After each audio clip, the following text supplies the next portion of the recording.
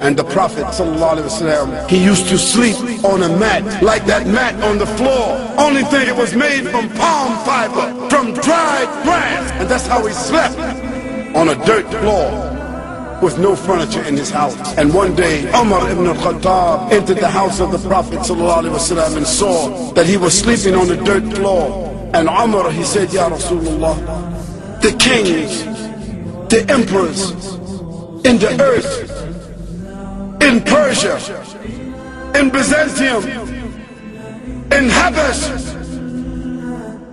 all over the world, these kings, they are not like you.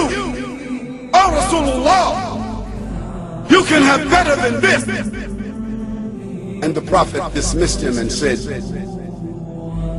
they have what they have been given, and I have what I have been given.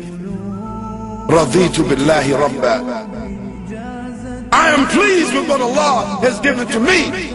And any one of you that says, رضيت بالله ربا وبالإسلام دينا وبمحمد رسول الله نبيا Allah will also be pleased.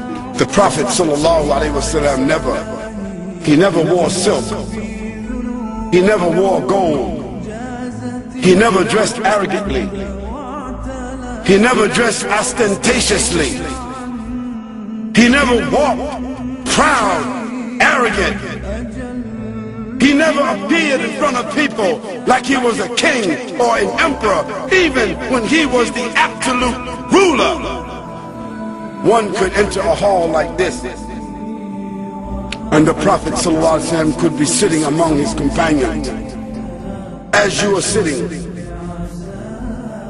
And it was common for people to look around and want to think he should be sitting up someplace in a chair on a throne like other leaders. He should be wearing some gown of gold. He should be wearing some kind of crown. He should be a man with people around him serving him. But when they came in and they looked around, it was a common question. Who is Muhammad? Where is he? No one could tell who was the Prophet ﷺ among his followers. Because his clothes and what he ate and where he chose to sit was never different from the other people.